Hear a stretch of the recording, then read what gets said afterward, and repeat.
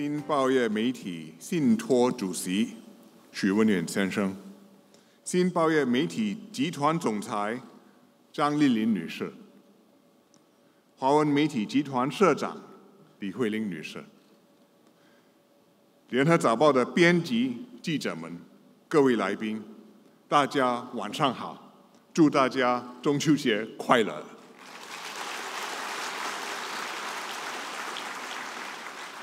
很高兴今晚能够和大家一起庆祝《联合早报》的百年报庆。这是新加坡华文报历史上一个里程碑，意义非凡。让我在这里祝贺《联合早报》生日快乐，越办越好，更上一层楼。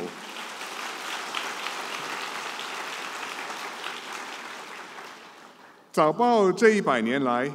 一步一脚印，不断创新求变，才能够屹立不倒。大家都知道，早报的前身是一九二三年由陈嘉庚先生创办的《南洋商报》，和一九二九年由胡文虎先生创立的《新洲日报》。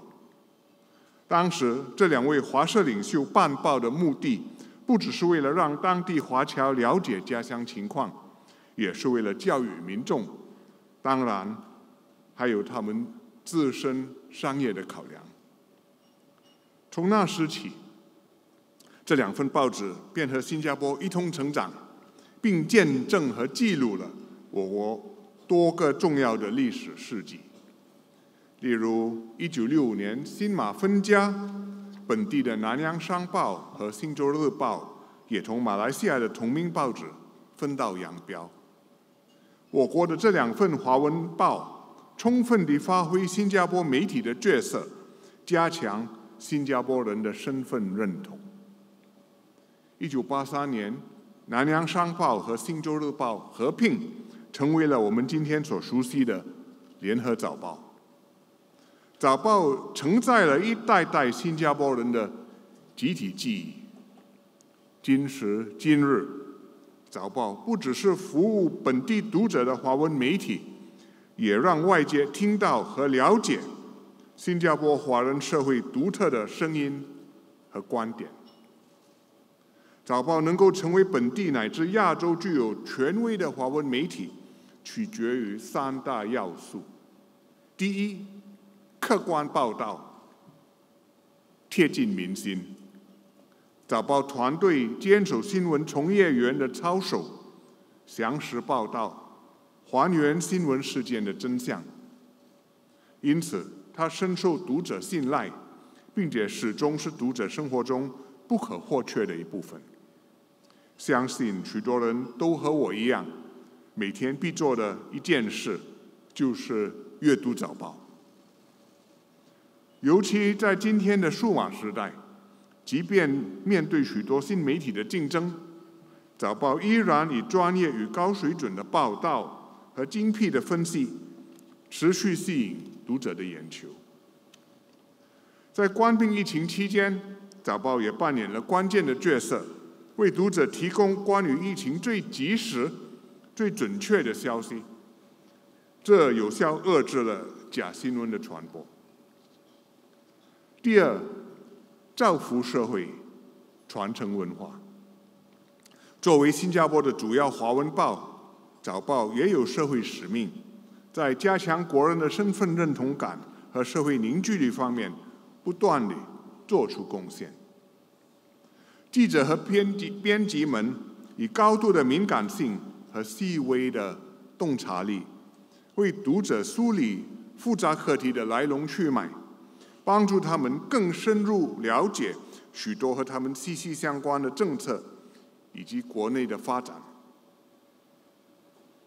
尤其在现今信息碎片化的大环境里，这有助于凝聚国人的共识，对保持社会团结至关重要。此外，早报举办各种文教活动，不但丰富了我国的多元文化遗产，也积极发扬我们独特的。华族文化，例如早报所举办的定格百年摄影展，利用照片来记录对新加坡的回忆；早报也邀请来自世界各地的作家到新加坡，促进文化交流，为本地的文化界注入活力，也让世界了解新加坡的文化生态。第三个要素，以新加坡视角看天下大事。早报最宝贵的特质之一，就是你们一直以来以独特的新加坡观点。报道国际事务，同时也是个提供多元理性观点的平台。例如，在报道有关两岸三地的新闻时，早报提供自己的独立分析，从新加坡的立场来解释局势的发展。早报也刊登来自世界各地，包括美国和中国等不同观点和评论，让本地与海外读者。更全面地掌握信息，分析实事。这就是早报和世界上其他华文报有所区别的地方，也是早报独有的价值。在现在的国际环境里，各国不仅试图利用言论影响彼此的人民，甚至设法左右境外媒体的立场。他们还希望用种种方式。说服其他国家的人民站在他们那一边，这是可以理解的，但是我们必须抗拒它。为了对抗这样的影响，早报必须维持清楚的编辑立场，并拥有足够的独立内容，才能继续为新加坡发声，维护新加坡的利益。早报绝对不能被其他人利用，来散播一些对新加坡不利。或不符合国情的言论，在刊登外国作者的文章或评论时，早报也要确保读者清楚知道这些人在替谁说话，同时明白这些言论并不代表早报的立场。否则，读者可能会质疑早报是不是失去了独立性，或者是在选边站。当然，随着全球地缘政治局势日益严峻，许多媒体机构，包括早报，也不可避免地被指责偏袒某些国家。有些人说，早报的报道支持中国的立场；有也有人说，早报的分析倾向美国。作为一个负责任的新加坡媒体，早报必须竭尽所能。避免被他人左右，以维护自己的公信力。我很欣慰，早报坚守自己的核心原则，在报道新闻时一直保持客观独立。这也是早报能建立良好的信誉和口碑的原因。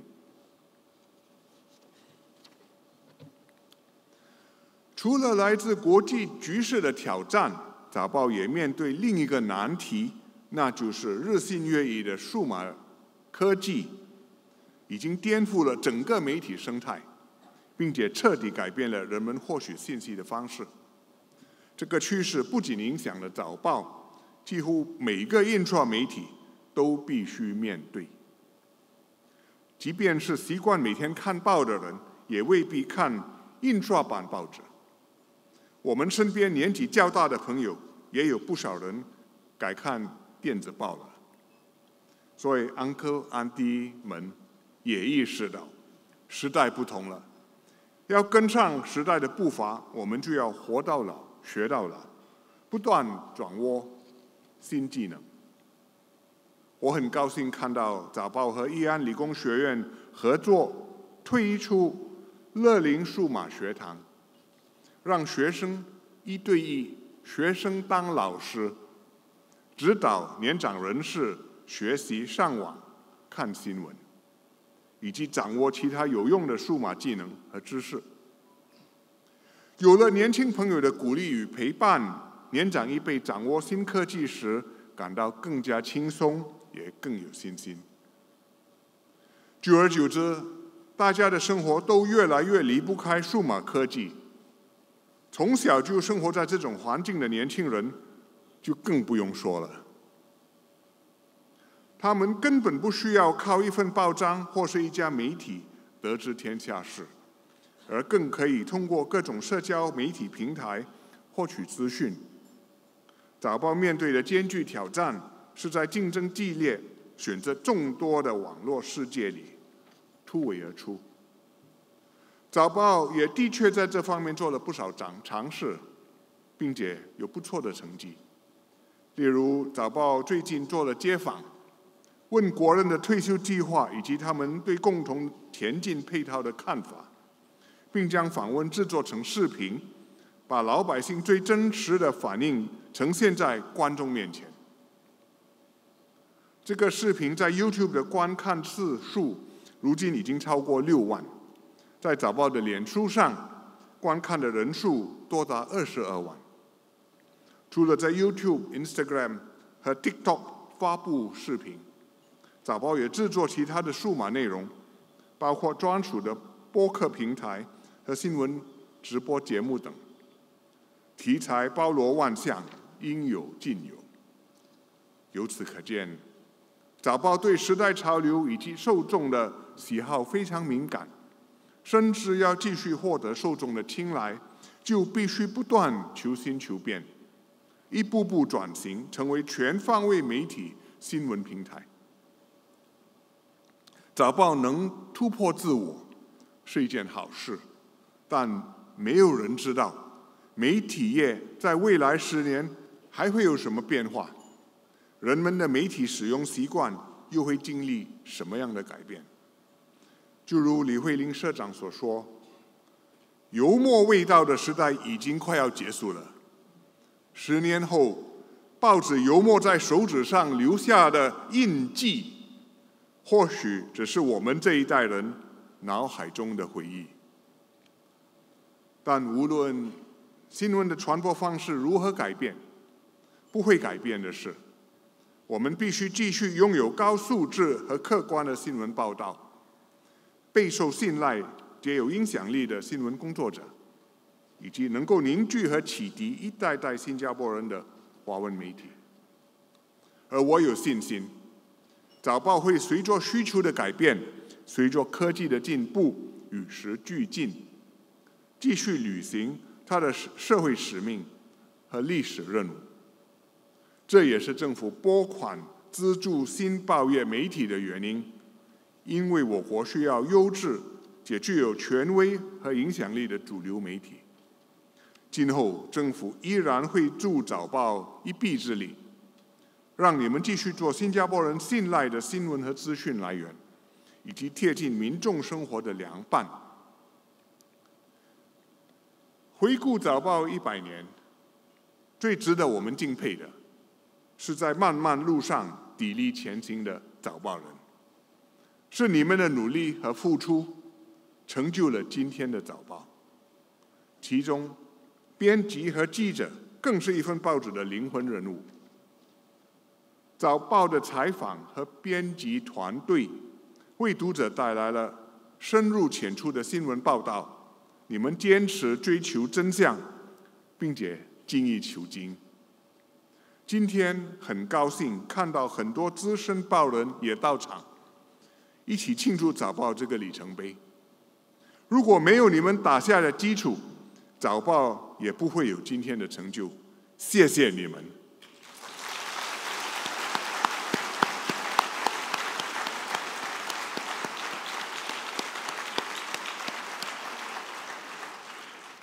常言道：“前人种树，后人乘凉。”过去百年，一代代早报人不畏艰辛，前赴后继，让早报从一棵树苗长成了参天大树。如今，这棵树已经枝叶繁茂，硕果累累。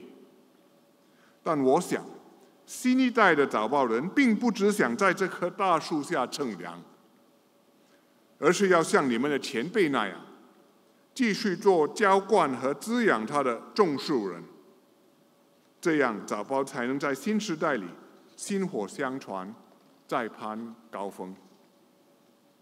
我们今晚要肯定的，不仅是早报这一百年来对新闻事业的卓越贡献，更是早报今后在启迪民智、团结国人和参与国家建设所继续扮演的重要角色。祝愿早报再接再厉，为下一个百年继续谱写辉煌的新篇章，成为更有影响力、更加出色的世界级华文媒体。最后，祝愿大家在这个中秋佳节圆圆满满。谢谢大家。